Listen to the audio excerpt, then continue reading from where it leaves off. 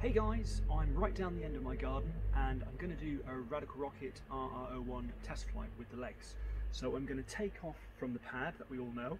Um, I'm going to fly around, I'm going to put the legs down and then I'm going to land it somewhere around about here. So uh, wish me luck. Here we go.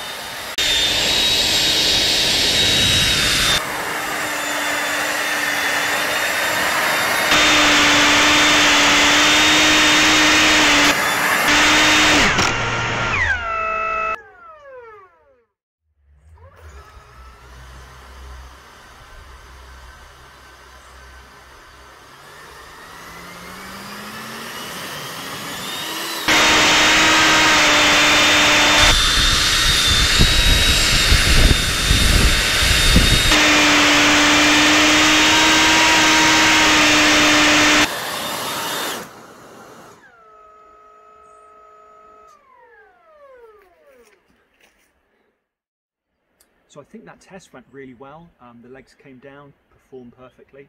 Um, what I've noticed is there's a little bit of a wobble, so I'm going to have a look at the flight telemetry. I'm going to see if I can try and uh, find out what's happening and work that out, get it nice and stable as it was before. Um, and then I'm going to look at um, taking off and landing from a flat surface with the legs down, bringing legs up, flying around, putting legs down and landing again. So um, thanks for watching guys again and um, see you all in the next video.